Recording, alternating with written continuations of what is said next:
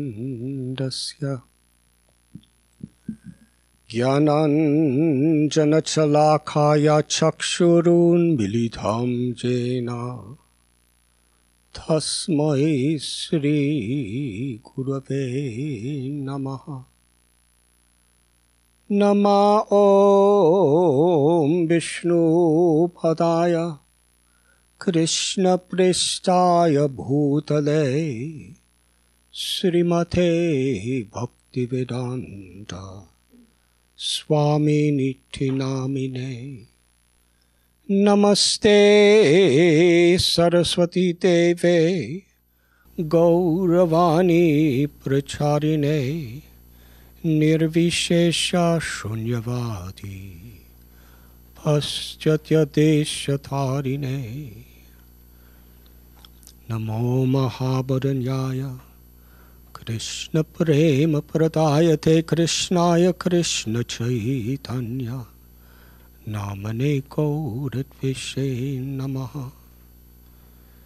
श्रीकृष्ण चैतन्य प्रभो नित्यानन्द। श्री अद्वैत गदाधर शिवासदि गौरभक्तवृन्द हरे कृष्ण हरे कृष्ण। कृष्ण कृष्ण, हरे हरे। हरे राम हरे Ram. Ram Ram, Hare Hare.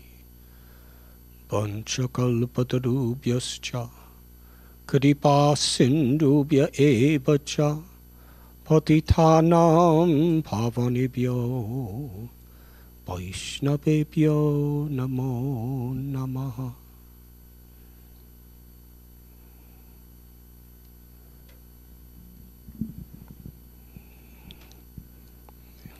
It is my great honor and pleasure to be with all of you this evening in this very beautiful, esteemed, um, sacred place.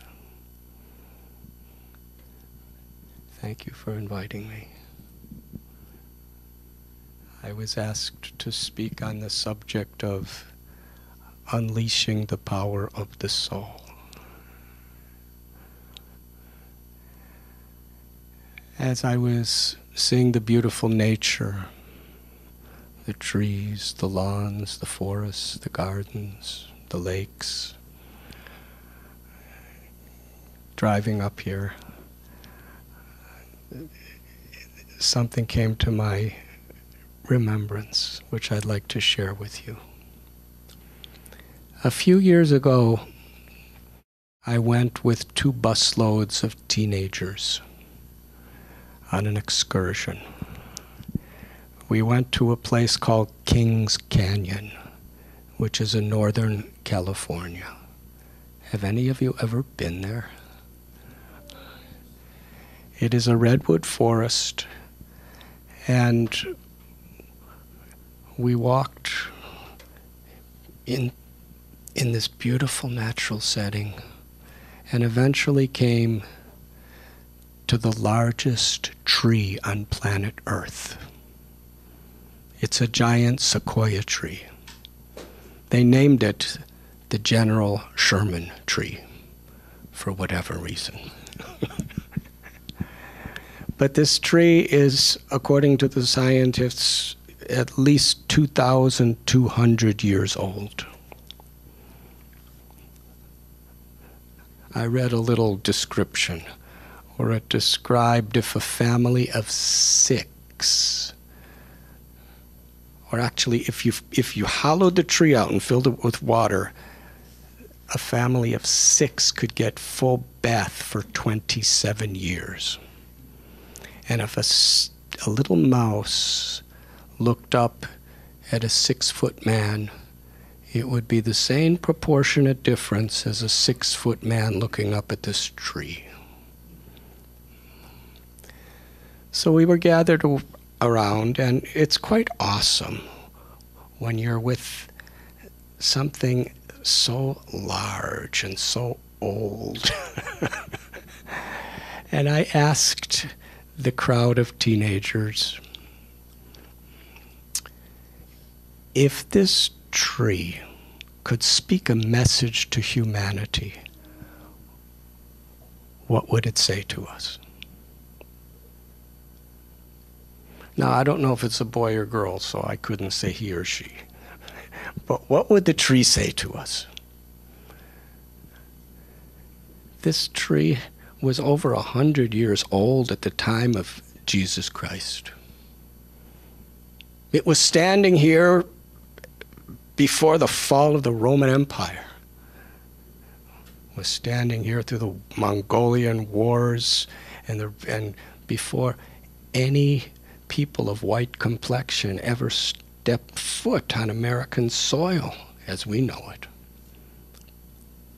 It's been here through the Revolutionary War, the Civil War, World War I, World War II. What would the message be? And several of the boys told really joking um, remarks. And one girl, she was 14 years old, she took a deep breath and started to cry. She was so emotional. Everyone stood in silence to hear what she had to say. She tried to speak, but she was so choked up by tears of emotion. And this is what she said. She said, Can't we hear what this tree is trying to tell us?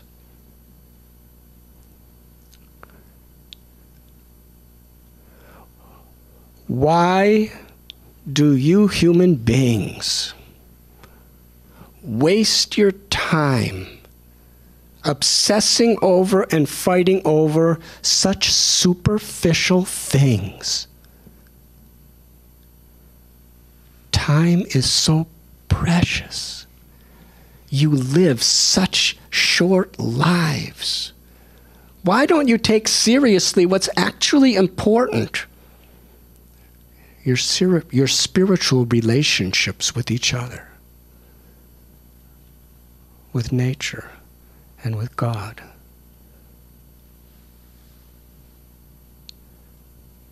As she cried, we all were thinking, it seems like the tree's actually speaking through her.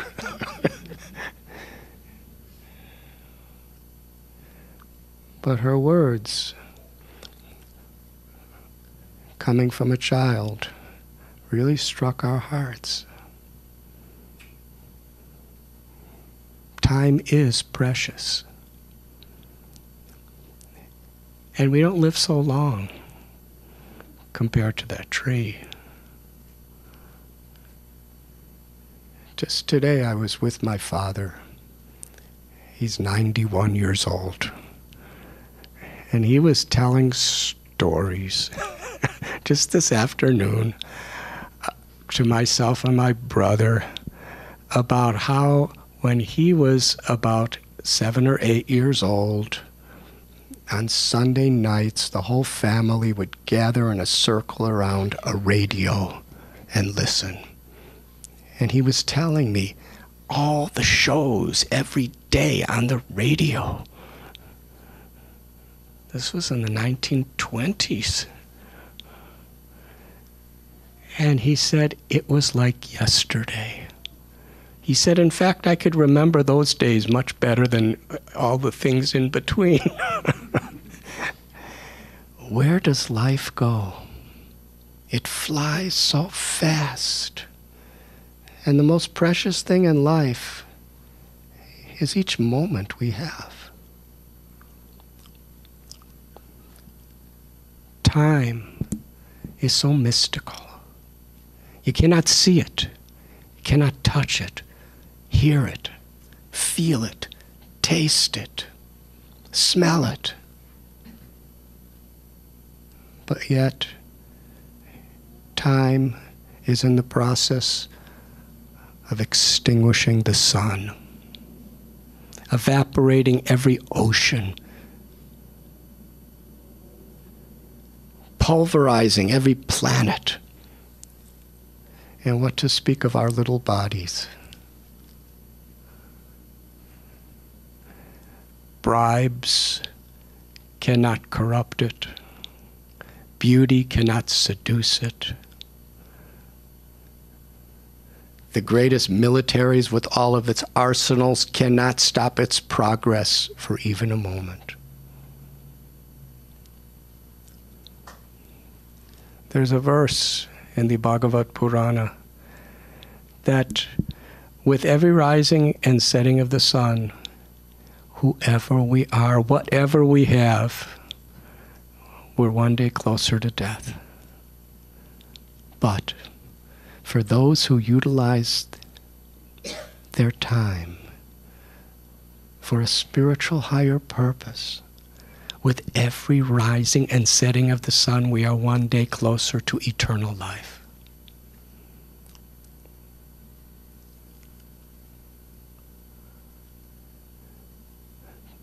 The basic question that is there in so many of the great philosophies and religions of the world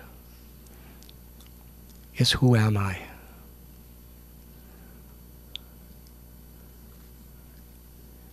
Unless we know who we are, we cannot really understand our relationships with each other, with the environment, what to speak of the higher spiritual powers. The Bhagavad Gita tells, Najayate mriyate vakadachit nayan bhutpa bhavita vaidambuya. Nahanyate hanyamane sarire. That we are the eternal force that person that's within the heart, who's seeing through the eyes and hearing through the ears and tasting through the tongue and thinking through the brain and loving through the heart. The nature of that living force in Sanskrit is Atma. It is eternal, undying.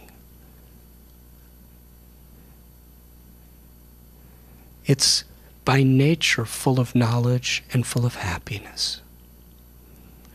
And what is that happiness? Things could, could give some pleasure to the body, mind, and senses. But things can never give fulfillment to the heart. Only love can give fulfillment to the heart. To give love and to receive love. That is the most fundamental need of every living being. Anandamayo Bhyashat, the Brahma Sutra says, that we're all seeking pleasure. And we're all trying to stop what interferes with our pleasure, which is pain. And whether it's a little ant crawling on our kitchen counter, or whether it's a CEO of an international corporation, everyone's looking for pleasure. And everyone has a relative way of finding that pleasure. Where does that natural characteristic that we all have come from? It comes from the natural love of the soul. In the Bible, that same principle is explained. What profiteth a man who gains the whole world but loses his immortal soul? A few years ago, I was speaking at the House of Lords in London, and I spoke so many things. But one thing I said everyone clapped. Now, I'm just a little Swami who hasn't had a bank account since 1969. It was in the Highland Park First National Bank.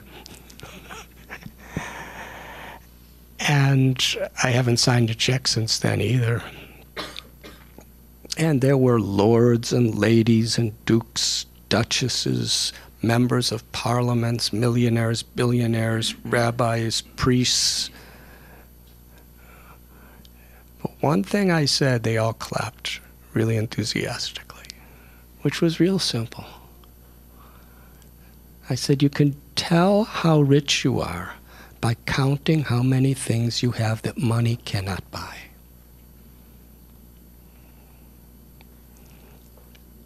And sometime later, I was in Chicago, in downtown, and a CEO of a corporation invited me to meet with him and his the CEO and the COO and the CMO and the and CFO.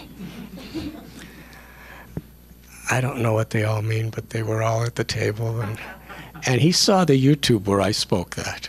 And he said, That is so true. He said, I just came here today on my private jet.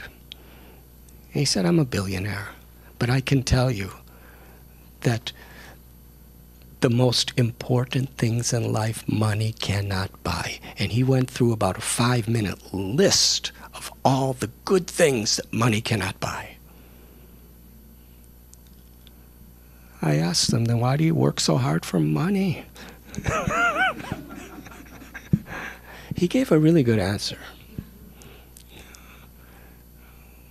He said, The most important things in life money cannot buy, but it's nice to have the things that money can buy.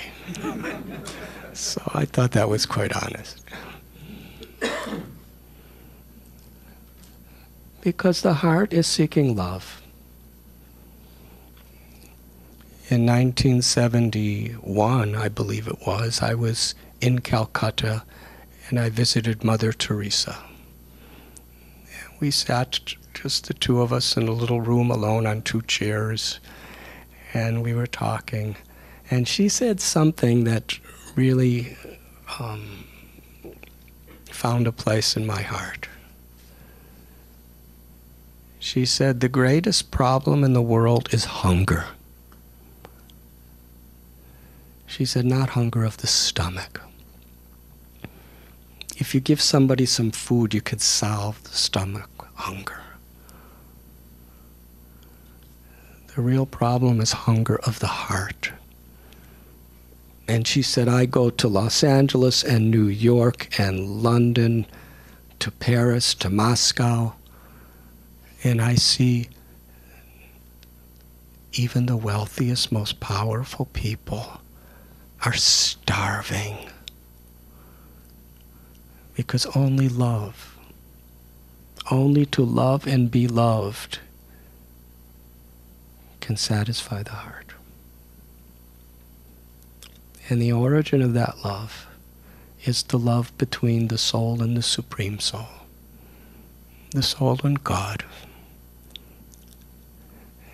It is described in the Srimad Bhagavat that when you water the root of a tree, naturally that water extends to every part of the tree the branches, the twigs, the flowers, the leaves.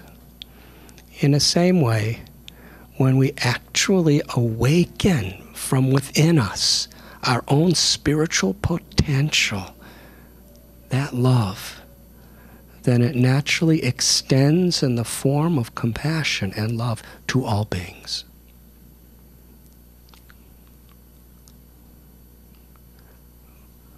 I traveled looking for truth, looking for meaning.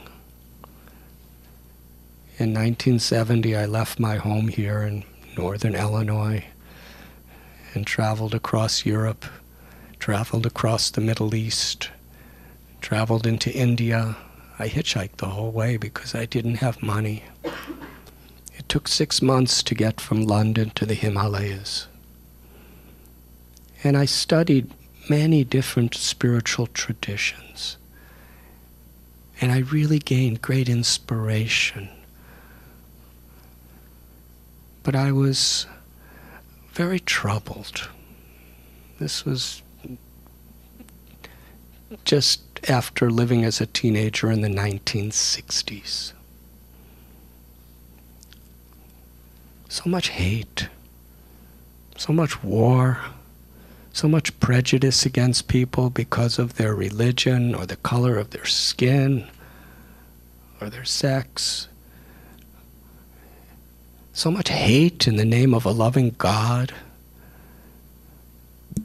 I really wanted to find something that would bring unity and harmony and meaning to my life. And I came to the conclusion it, was, it must be something spiritual. I heard Gandhi's words be the change you want to see in the world. So that really made sense to me. And while I was in India and traveling, I got the Bhagavad Gita.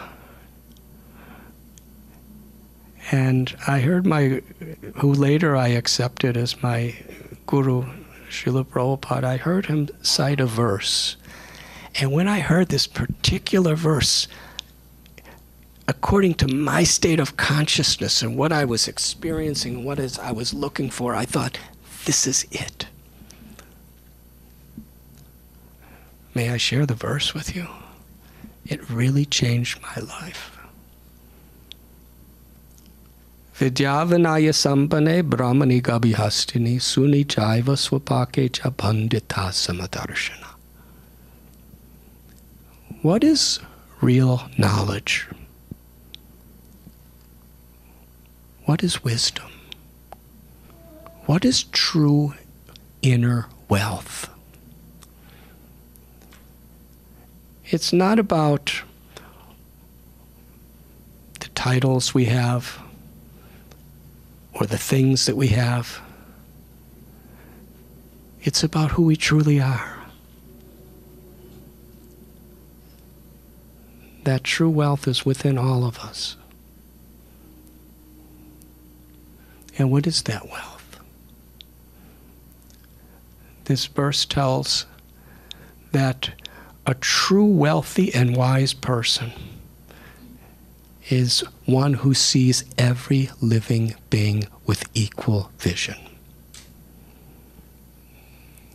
Whether they are black or white or red or yellow or brown, male or female, whether they're Hindus or Muslims or Jews or Jains or Christians or Sikhs or Zoroastrians or Buddhists or agnostics or atheists, whether they are rich or poor, educated or uneducated. The Gita goes to the extent of saying whether they are humans, or dogs, or cats, or cows, or elephants, or trees. Wherever there's life, there is a sacred, eternal part of God. Every living being is a child of God. We cannot love God without loving God's children. We can't know ourself and not see the intimacy of our relationship on the spiritual platform with the souls of all other living beings. Life is sacred. Paraduka duki this is a sacred principle that an enlightened person is not one who can just do magic tricks. It's not a person who can just attract millions of people by their oratory skills. An enlightened person is one who other people's happiness is their happiness and other people's suffering is their suffering. This is compassion. And this is the greatest need in the world today. When we connect with our own soul, we realize that there is a power infinitely higher than my mind, my intelligence, and my senses that I can tune into. And in the path that I follow, bhakti, we try to tune in to the power of grace. Grace is sweet. Grace is gentle. Gent- grace in the Vedic tradition is the feminine aspect of the divine. But grace is all powerful. It can forgive all of our transgressions. Grace can empower us to reach and find things that are way out of our capacity to do so. It can restore us and ultimately awaken our potential. There's a beautiful poem. It explains in Sanskrit poetry, the symbol of beauty in this world is a blue lotus flower. Pink lotus flowers and white lotus flowers are a little common, but blue lotus flowers are very rare. In fact, I've never seen one or met anyone who's seen one. but the poetry is really nice. it explains that the blue lotus remains in a closed state. It only blossoms when it is touched by the moonlight, by the rays of a full moon. When those rays of the full moon touch the lotus flower, it fully blossoms. And it's considered the symbol of beauty and has such a fragrance that spreads in all directions.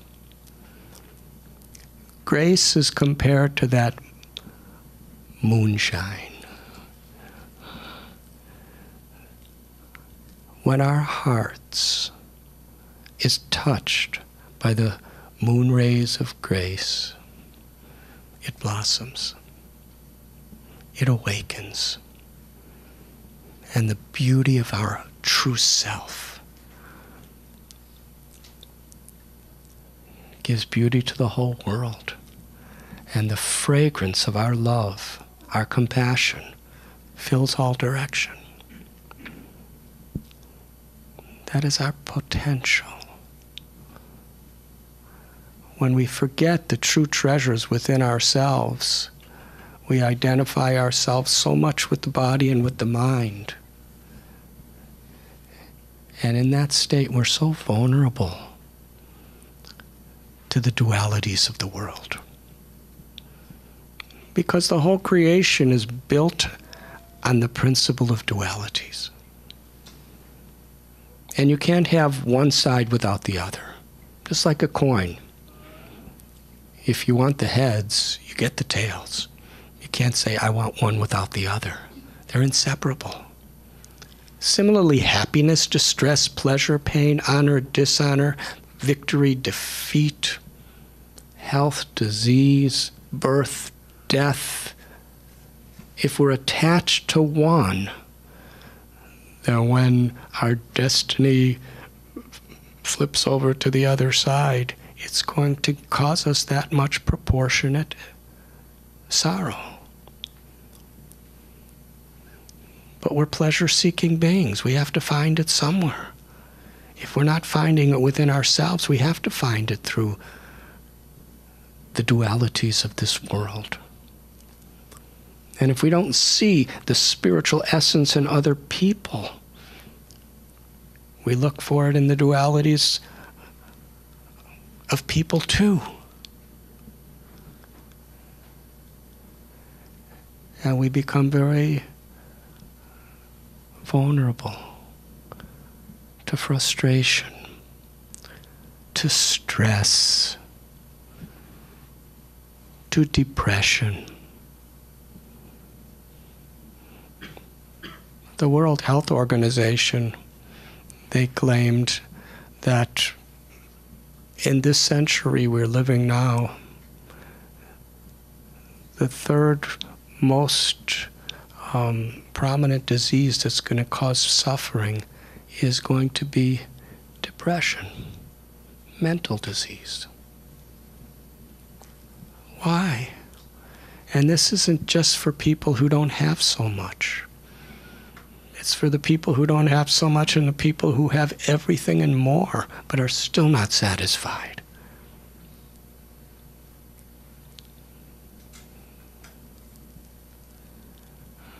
But there's another verse in Bhagavad Gita.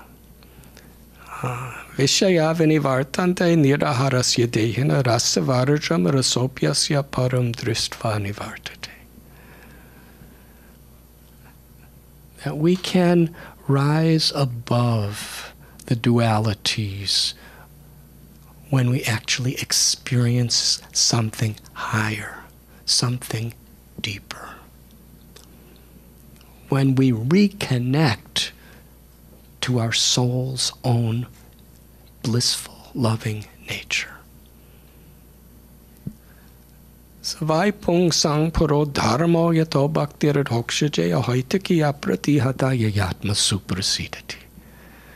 This beautiful Sanskrit verse tells that true yoga, real dharma, in its highest form, is that which awakens the natural qualities of love that is within our hearts. And that love is expressed through seva, through service. Seva means to serve out of love, out of compassion, not for tax benefits, not for selfish or egoistic reasons. There's a beautiful saying that you make a living by what you get, and you make a life by what you give. Thank you.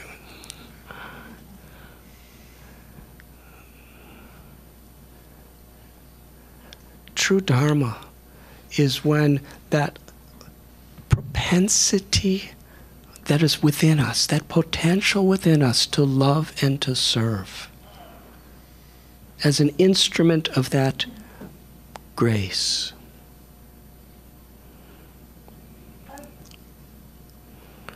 When we think ourselves to be the doer of our activities, we actually disconnect from that grace. But when we humble ourselves to understand that there is a higher power, bigger than me and bigger than all of us, that can actually manifest and flow through any of us. If we just clean our heart to receive it, then there's no arrogance. There's no obsessive need to prove that my nation is better than yours, or my religion is better than yours, or my sex is better than yours, or my, my race is better than you. People are so addicted with trying to prove their superiority. And it creates so much conflict. So much, if somebody's better than us, we're prone to get depressed or envious. If we do something better, then we're prone to be arrogant and condescending. From an enlightened perspective, these are all really weaknesses. The real strength is to really be everyone's well wisher. That's our nature. When we connect to the immortal, eternal joy and love of that grace that nourishes us constantly. But unfortunately, we're bombarded by so many weapons of mass distraction in our lives. We've forgotten who we are and what we have the potential to do. Unleashing the power of the soul comes when we simply awaken the love and the grace that is within us. A love and grace that no one and nothing can take away from us. Recently, I was with one lady who was one of my very dear friends. She was in London and she was dying of cancer. I was in Mumbai and her husband called me and said she really wants to see you before she dies. And the doctor gives her five more days to live. So I dropped everything I was doing and I made an arrangement to go to London by airplane. But then you know what happened? This was a few years ago. A volcano erupted in Iceland. Do you all remember that? And the ashes that came out of the volcano were so much that every airport in the entire continent of Europe and North Africa was closed, and every flight was canceled. It's really interesting.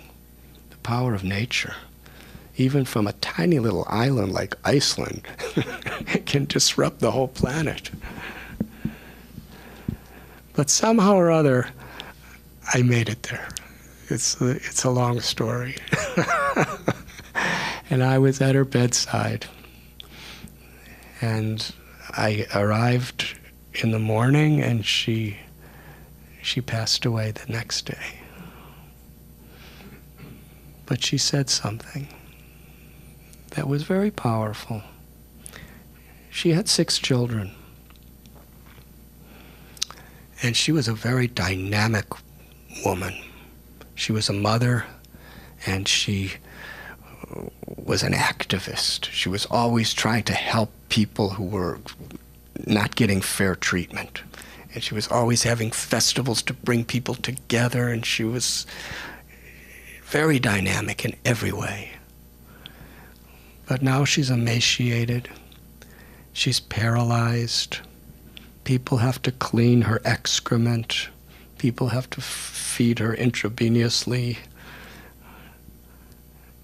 And she said, Look at me, I'm, I'm nothing what I used to be. And then she smiled. And she said, But I have unlimited relevance. She said, Do you know why? She approaches God as Krishna. She said, Because Krishna loves me. And nothing and no one can ever take that love away from me. I can feel it. I can I know who I am and where I'm going.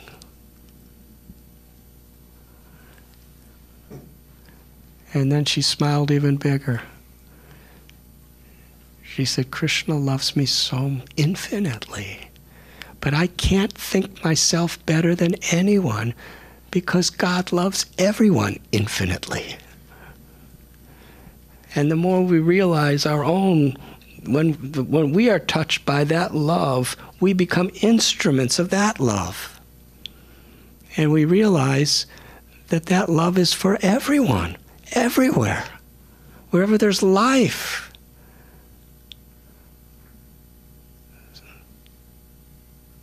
Some are connected to it and some are disconnected. And spirituality is to reconnect. And to truly be everyone's well wisher. I'll end with a wonderful little story. Again, it's about redwood trees. You see, compassion. Compassion when it awakens from our heart, it's like the sun, it shines. When the sun shines, it doesn't discriminate who's fit or who's unfit. It shines for everyone.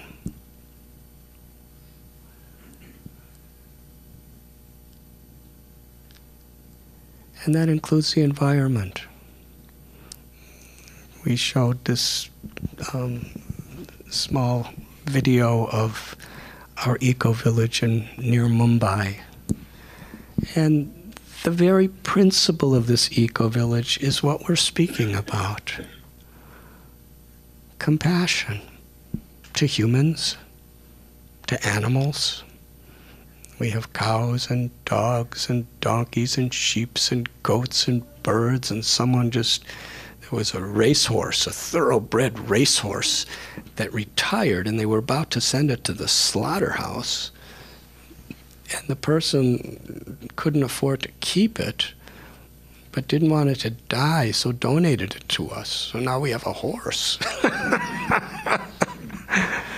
but the idea is life is sacred, and as human beings, we are meant to be caretakers. Nothing is our property.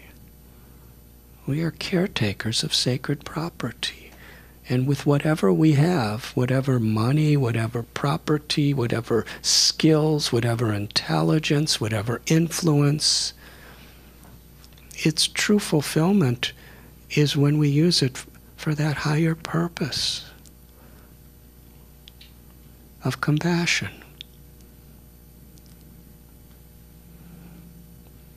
and everyone is depending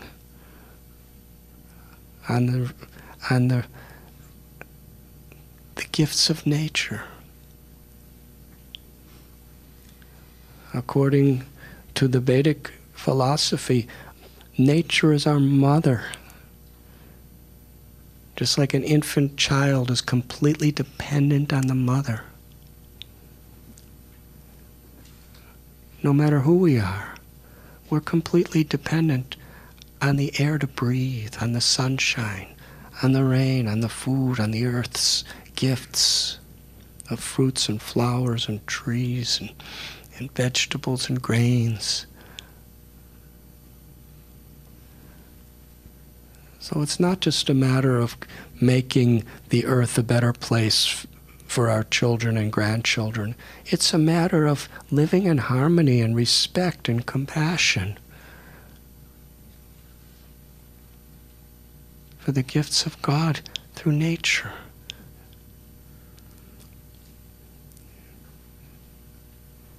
A grateful heart is a humble heart, and a humble heart is a sensitive heart that has the capacity to actually love.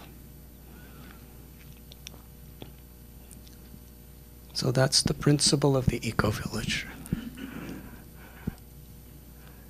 One of my favorite parts of it, of course, is the animals, and we grow all of our food. But sewage, it's a reality. We can't run away from it. It doesn't matter who you are, still, the same things come out. Right? It's, it's kind of a equalizer. you may just be a simple person living in the streets of Mumbai, or you may be living in a beautiful palace. But when nature calls, you have to go. And it doesn't smell much different.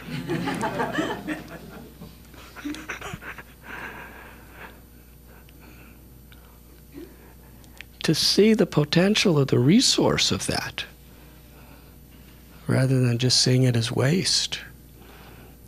So we have a natural organic sewage refining system that makes the sewage water into very, very clean water. And every part of it can be used in a very, very invaluable, positive way.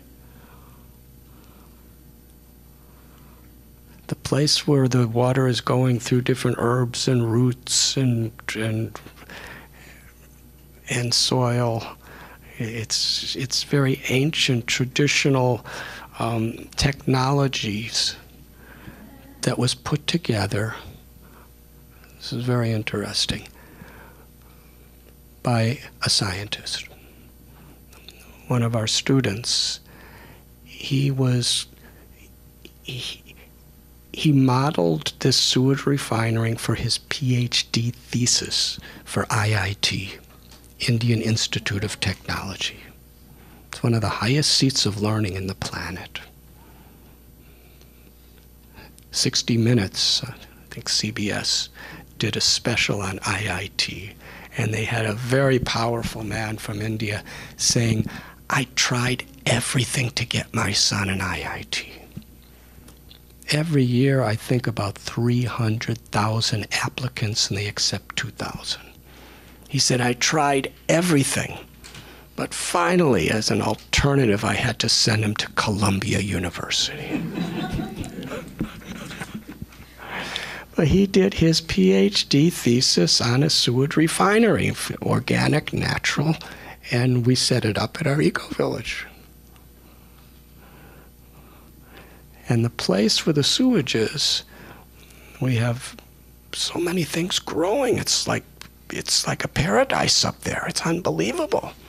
We have hundreds of papaya trees, and they're usually about this big. But if you go up there, they're about one and a half to two, two times as big. So some yoga group from New York came, some teachers, and they saw the size of the papayas up there. And the lady said, These are not papayas. These are poopayas.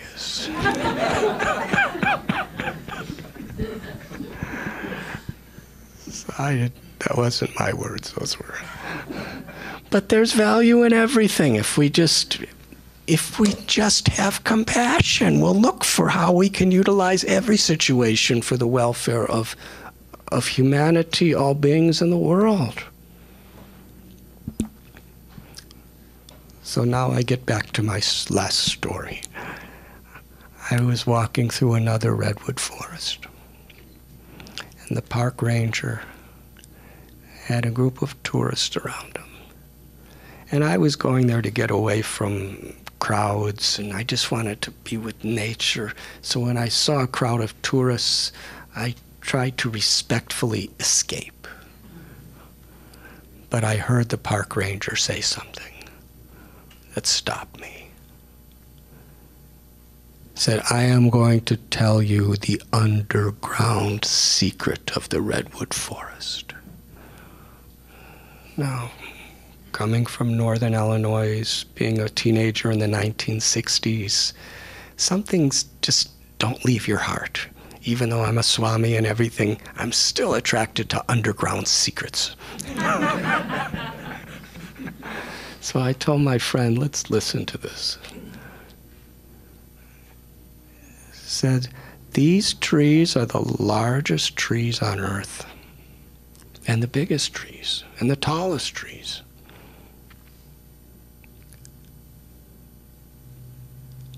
Usually, for a tree to grow in a powerful way, they need deep roots. But the redwood tree's roots don't grow very deep.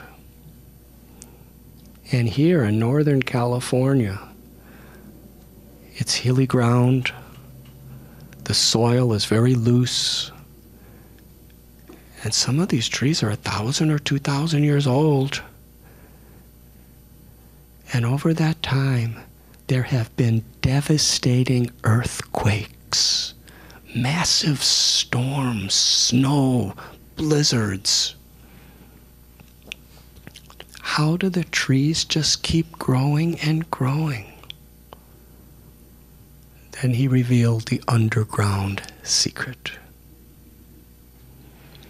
The redwood roots, underground, not so deep, they reach outward toward the roots of other trees.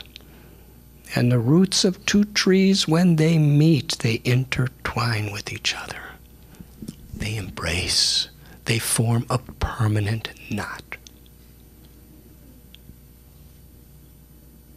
In this way, every tree in the entire forest, the ranger said, is directly or indirectly connected to and giving support to every other tree. And even the little tiny trees that have little thin roots, they wrap around these ancient giant roots and get support from them. And the big roots are wrapping against around each other. They're all helping. Unity is their strength.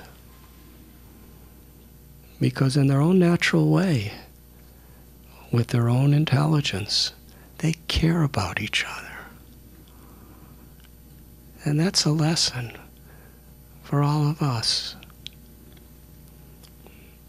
The roots of a tree is the deepest part of the tree. It's like the heart of the tree. And when our hearts extend to one another in a spirit of compassion, in a spirit of care, when it comes from soul to soul, that naturally includes the body and the mind, then we have strength. And then whatever storms may come in life, we're there for each other. And this is Dharma. This is the power of the soul. Thank you. I'm trying to understand more about Dharma, and my elementary understanding is more along the lines that it's like a person's personality, like what they are meant to do. But when you spoke of Dharma this evening, it was always maybe for somebody who's at a higher level that I guess, but the Dharma is to be closer to God and and and more connected to God. Could you tell me more about Dharma, please? Thank you very much. There are various levels and definitions of Dharma. But like a tree, there's the root understanding of Dharma, and then it's how it expands in various ways into the world. Sometimes Dharma is translated as occupation. Sometimes Dharma is translated as religion.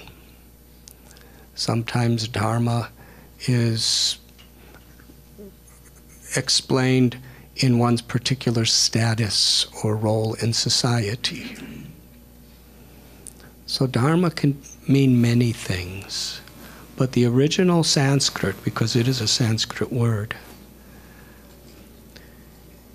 it means that which is inseparable from its own nature. An example the, ex- the inseparable quality of who we are is what Dharma is. The Dharma of sugar is it's sweet. The Dharma of water is liquid. Now, in January, here in northern Illinois, it becomes ice. but as soon as the weather becomes warmer, the ice naturally becomes liquid again because that's its nature. It can be transformed by circumstances in the environment, but it's nature. In India, the nature of a chili pepper is it's hot. This is a quality that is inseparable from the thing. So, what is the inseparable quality of the Atma or the soul or of who we are? And this is what we're describing. When we live, we naturally serve. We either serve our mind and senses, or we serve our boss, or we serve the government by giving taxes or we serve our husband or our wife or our children or our parents. It's natural to serve. And the origin of that quality of service is in the love that is within our heart, the love that is our true potential, that is expressed through service. So, loving service to the root and to all parts of the tree of life is the actual original translation of the meaning of Dharma in the Sanskrit language. So, Dharma is, in this sense, the very essence of all religions, the very essence of all true philosophies, the very the highest essence of whatever we do. And in the name of religion today, there's so much sectarian arguments, there's arrogance, there's hatred, there's fear, there's insecurity, but it's always been like that. Why? If we actually find the essence of our religion, then we'll be able to recognize that essence elsewhere. In this book that I wrote, The Journey Home, I was living on the bank of the Ganges River in a place called Patna. And I was I was about 20 years old at the time. And there was a man about 85. His name was Narayan Prasad. He was a devotee of Ram in the Hindu faith. And every we became best friends. He was older than my grandfather. but we were friends. And he would take me every day to meet his best friend, who owned an x ray clinic. And his name was Mohammed. And he would close the x ray clinic at around noon every day, and we'd go into the little back room, and Mohammed would discuss the Quran, and Narayan Prasad would discuss the Ramayana and the Gita, and I would discuss all the different things I learned. and it was it was real sharing and inspiring. And one day I was sitting with Narayan Prasad and I asked him, in a country like India, where there's so much conflict between Hindus and Muslims, how is it that you're best friends with a Muslim? And he's best friends with you. And he said something I'll never forget. He said, A dog will always recognize his or her master whether the master is in a suit and tie or whether the master is in a bathing suit or whether the, the master is naked. The dog will recognize its master. If we cannot recognize our beloved God when he or she comes in another dress for other people at another time, then we have so much to learn from the dog. Dharma is that essence. We quoted from the Bible the first and great commandment is to love God with all your heart, mind, and soul. And if that if that is understood, then naturally we will love our neighbor as ourselves. And everyone is our neighbor. That's the first and great commandment. And we cited from the Vedas, Savai Pung Sang Poro Dharmo Yato Bhaktir The supreme Dharma is that which awakens our inherent love. A love that is not motivated by selfishness or egoism and can never be interrupted by circumstances. Because it's who we are, the awakening of that love.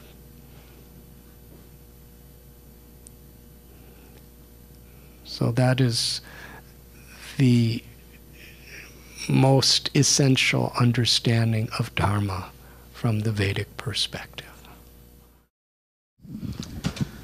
When you talk about Dharma, and uh, can I interpret like, see, because uh, in your process of journey, you went through at early age and integrated body, mind, heart, and get to the level of understanding the grace. But uh, people like us in a household lifestyle, we don't have that um, opportunity of integrating body, mind, and heart to realize the grace part. Before we get to the grace part, we get caught up in the body mind uh, uh, dichotomy of um, uh, body dharma is to pain pleasure drama and uh, mind drama is to uh, give and receive. I'm giving more. You're not giving. In a, in a, relationship i'm talking about. So we get caught up in that drama of body dharma and uh, mind dharma and we just just create our own chaos not even realizing the chaos is happening in, in a relationship before it's too late and almost to the destructive level. So when you're talking, you're not even talking about pain, pleasure, happiness, unhappiness, joy, but beyond these three, you're talking about um, grace. We never even get to the level of understanding the value of grace. So, as a householder, how could we get to where we are? Uh, if you could help us understand that. Thank you. Thank you. Uh, you just gave a better lecture than me, actually.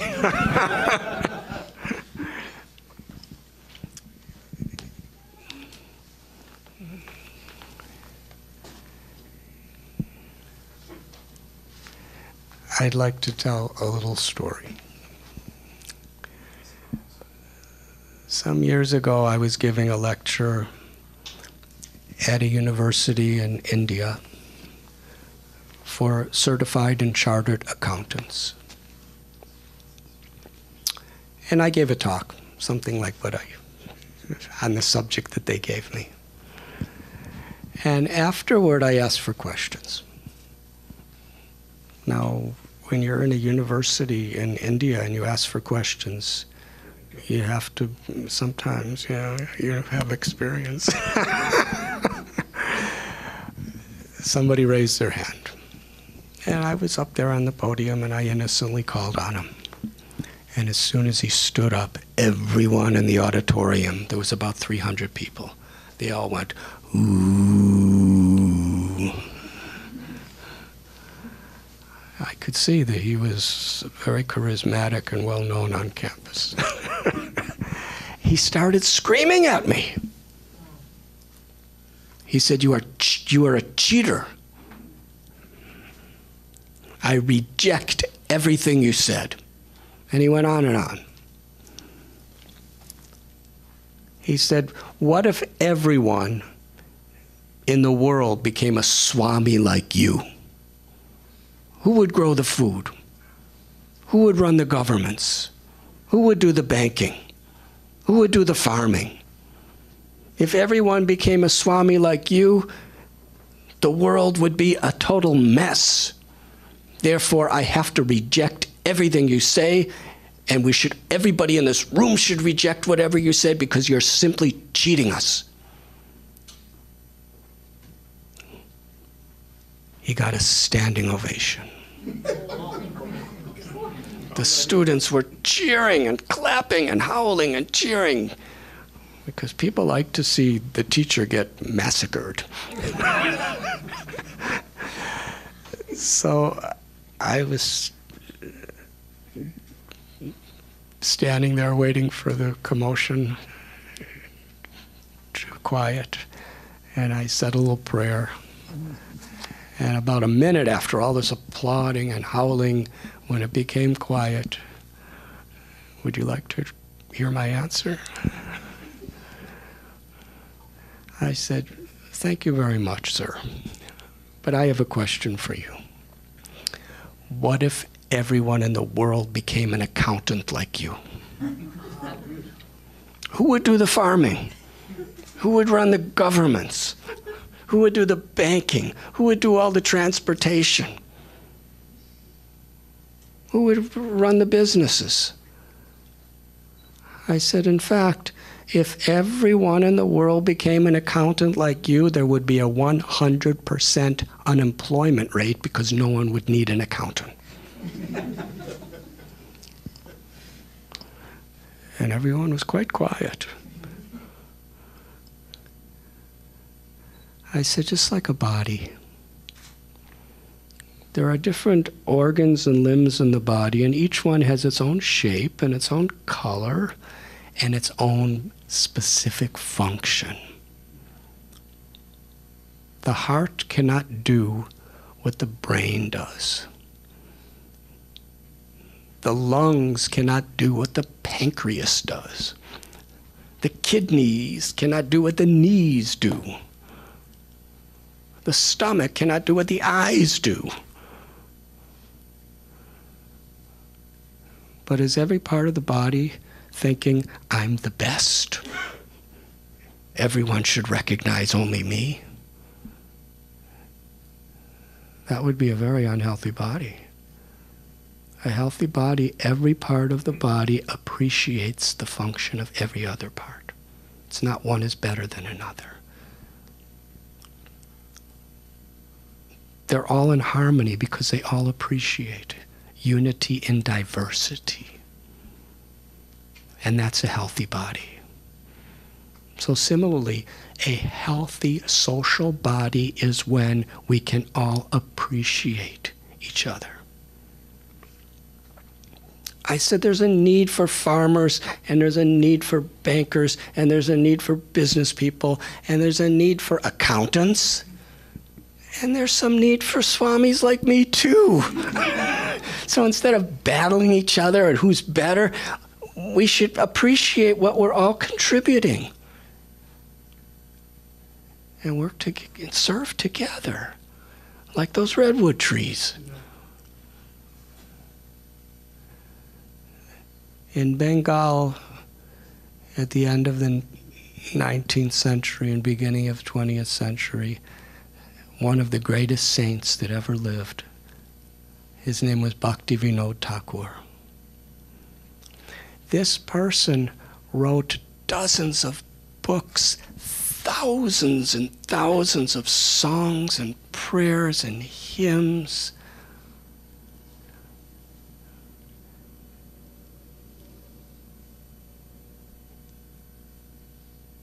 His wife was Bhagavati and she was as saintly as him. They had 10 children.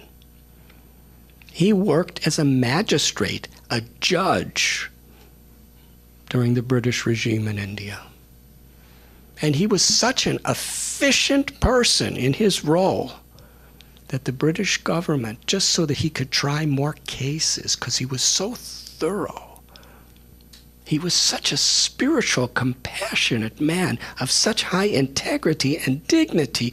Their stories were even if the person being tried was found guilty by him,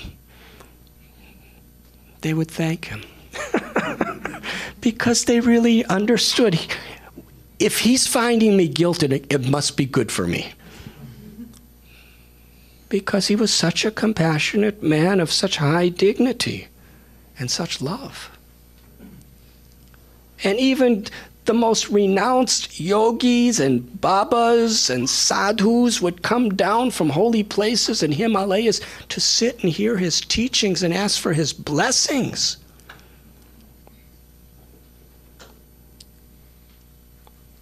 Because he simply integrated these spiritual principles in his life. In one of his poems, he sings, Grihe tako Grihetako vanetako sadahari boletako suke duke bulonako barane harinam korore gai goramadhu sware. Whether one is in family life working a job, taking care of parents, taking care of children, having an occupation, or whether one is a sadhu living in the Himalayas in the jungles or a swami traveling around, it really doesn't matter. These are all like the different organs of the body that are serving serpent. You know, we're all trying to serve each other in our own ways. In family life, it's the perfect opportunity for enlightenment and for being instruments of grace if we just apply some simple principles. Understanding Bhoktaram Jagatapasam Sarvaloka Maheshwaram. That everything is the property of the divine. Or everything is the property of God. I'm a caretaker. These my husband is God's child. My wife is child of the divine, entrusted in my care. These children are entrusted in my care.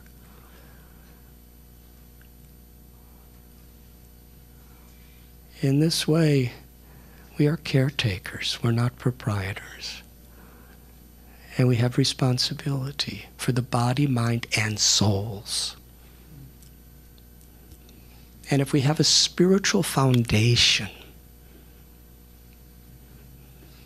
then we then whatever we do in our occupation or in our um, social responsibilities and family responsibilities, we build on that foundation.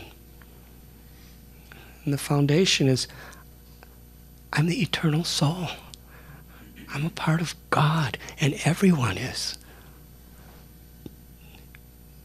So let me live by these principles. Some of the most enlightened people I ever met have families. They work hard. I know one person, he works so hard in his business and he's really successful. But he's feeding hundreds and thousands of children in the ghetto schools every day. He's helping widows to survive. He's funding orphanages. He's funding ashrams. He's funding spiritual educational centers in a very universal way. He's built hospitals.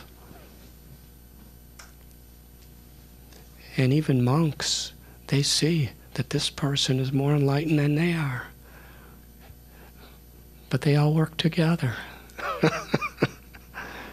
so grace is there for everyone, and whatever role we are in society is the perfect situation for us. If we just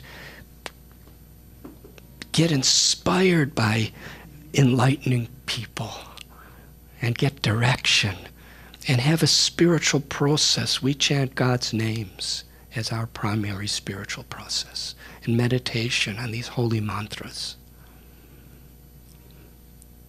Through, through, through, our, through our study, through our yoga, through our spiritual practice, we develop a foundation. We give some time to that because we understand it's important. And then with the grace and with the inner fulfillment and with the love that we discover through our spiritual practice in our community, then we share it, we express it in whatever we do. And then life is beautiful. My question was, uh, Swamiji, thank you for tonight, by the way. Uh, my question was uh, regarding seva and how ego gets in the way when there is a success during seva. Can you help uh, emphasize on what an ideal seva should be like.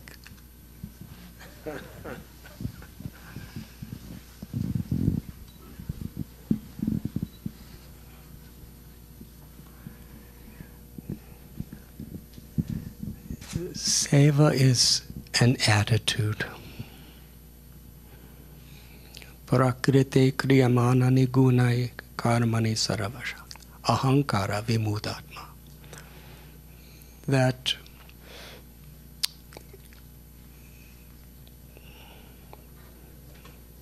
Let me give an example of this person I'm talking about who has a wife and three children, and the wife does everything he does. Um, when they're serving,